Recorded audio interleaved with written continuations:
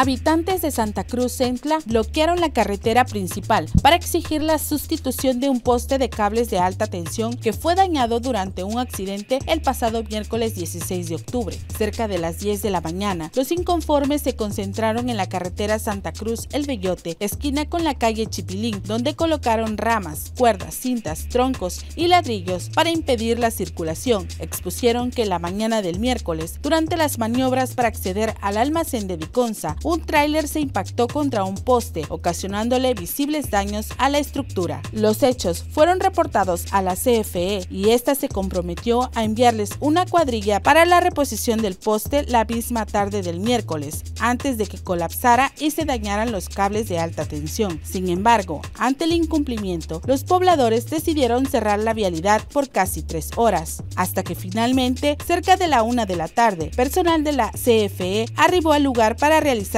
la sustitución del poste y se logró la liberación de la vía.